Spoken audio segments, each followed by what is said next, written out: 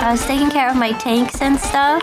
And I guess I stressed out because I have a saltwater tank for people who don't know. And I think I, I stressed out my sea urchin. I have a, a small sea urchin and I stressed it out.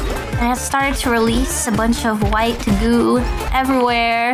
I was like, what the heck is happening? Actually, a little education, but it's uh, really difficult to identify like the sex of sea urchins. And so one way that researchers have managed to identify between male and female sea urchins is by running like 10 volts of electricity through them.